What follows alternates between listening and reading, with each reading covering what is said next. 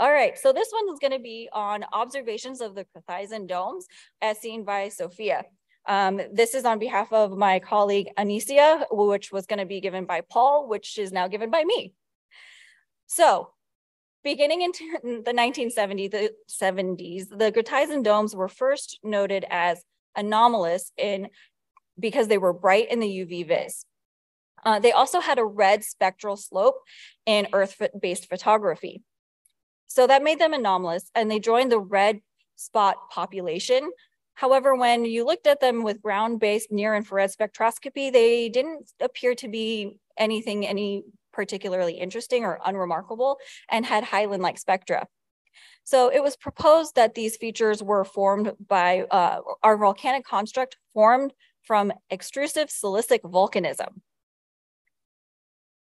And then when LRO was operating, the Diviner radiometer proved that these domes are very silicic, having a Christensen feature peak at sh such short wavelengths that all that could be said about the domes was that their composition is more silicic than anything else on the lunar surface.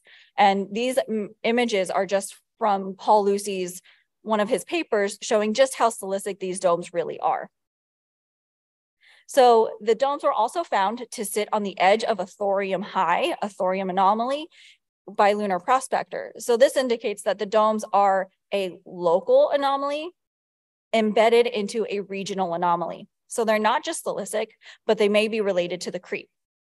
Now, the morphology and the silicic nature led to three different hypotheses for how these domes had formed. It was either large scale liquid immiscibility, basaltic underplating of the crust, extended fractional crystallization of a basaltic or late lunar magma ocean precursor. However, whichever formation process it is, they might it might have been concentrating incompatibles within the sil silicic melt and explain its association with thorium anomalies. So if the incompatibles are concentrating, then what about water? Well, there wasn't much water found in the KREEP measurements of rich and evolved rocks, suggesting that the portion of the mantle that produced the KREEP was decoupled from the Mare basalt source.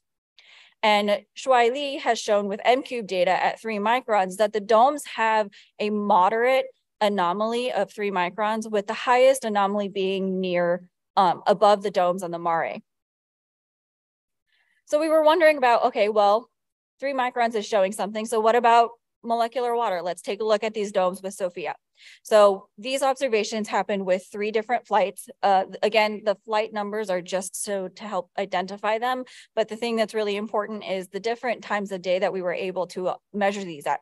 So we were we have observations from 10:30, 11, and noon on the lunar surface. So varying temperatures. The red box is just showing where we roughly took observations with SOFIA.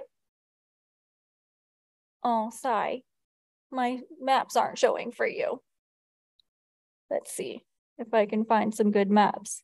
No, not really.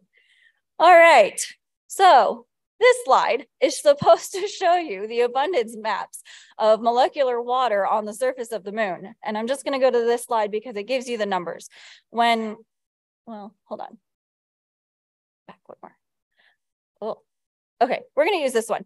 So we what we found is that the radiance maps showed the domes nicely in the SOFIA maps. When we produce the water maps, we find that the, the domes don't stand out against the, the features around it. They're not very prominent, so they don't have a six micron molecular water anomaly. And when I wanted to look at the abundances of these domes and compare it across the different flights, what I wanted to do was look for internal water to the moon and not adsorbed water. So I took the uh, measurement on top of the dome that's illuminated. So if you're looking at this M-cube image and imagining it's SOFIA, um, the image that you saw, you would see, or the location that I took the measurement from is on the illuminated portion. And I picked the illuminated portion to try and make sure that if any absorbed water is there, it's potentially gone and migrated away because of the hot lunar temperatures. Okay, so because my maps aren't working, we're gonna jump to the abundance table here and take a look at that. So the abundances we found are really low, especially compared to what I just showed you for Viper. Um, the abundances that we found are actually similar to the highland abundances, but they're not anything anomalous. And you, if you were able to see these images, you would see that there's actually negative abundances in these maps. The negative abundances is nothing to worry about for us because we do a ratio between two locations on the moon. Um, what we find with the negative abundances is it indicates that there's more water present at the Mare reference than there is in this region. So this was supposed to compare three microns and six microns, M cube and to SOFIA. Um, what we found with SOFIA measurements is that there is no uh, six micron anomaly, but there is an anomaly at three microns.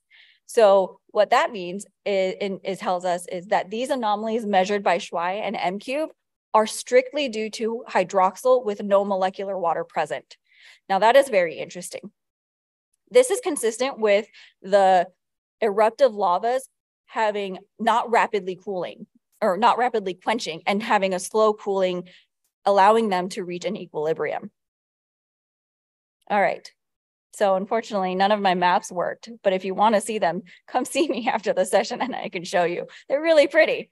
So in conclusion for this, molecular water is not present at reasonable or exciting quantities at the Gruithuisen domes. Um, the weak total water anomaly that we are observing in M cube is likely due solely to hydroxyl, which is in stark contrast to what we saw at Moretus crater. Um, the absence of water may indicate the slow cooling of the lava, enabling equilibrium. And the upcoming Lunar-VISE mission will allow us to really understand the relationship between the domes and the Apollo samples and provide hydrogen measurements that we can use to further understand water from inside the lunar interior. Thank you.